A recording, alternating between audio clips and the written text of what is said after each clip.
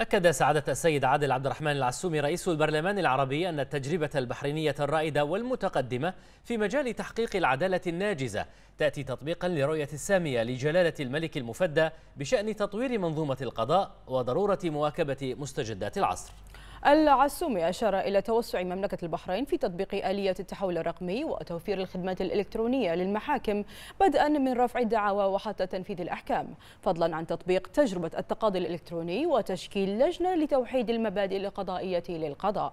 كما أثنى رئيس البرلمان العربي على الجهود الحثيثة التي يقوم بها صاحب السمو الملكي ولي العهد رئيس مجلس الوزراء في تعزيز كفاءة النظام القضائي لضمان العدالة الناجزة وترسيخ سيادة القانون بين الأفراد ما جعل منظومة العدالة في المملكة نموذجا يحتذى به عربيا وأقليميا وعالميا.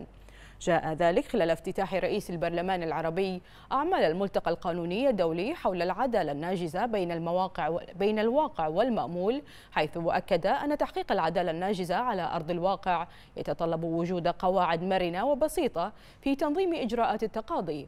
فضلا عن ضرورة الاستفادة من التحولات الرقمية في مجال تقنية المعلومات وتوظيف ما تتيحه من آليات مستحدثة في خدمة العدالة الرقمية.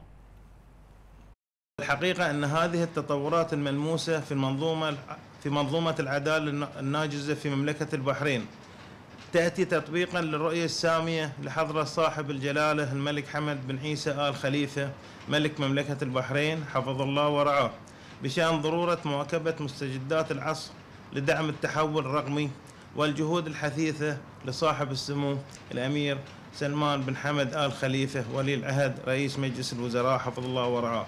لترجمة هذه الرؤية الملكية المستنيرة على أرض الواقع وتعزيز كفاءة النظام القضائي لضمان العدالة الناجزة وترسيخ سيادة القانون بين الأفراد مما جعل منظومة العدالة في مملكة البحرين نموذجا يحتذى به عربيا وأغلبيا ودوليا.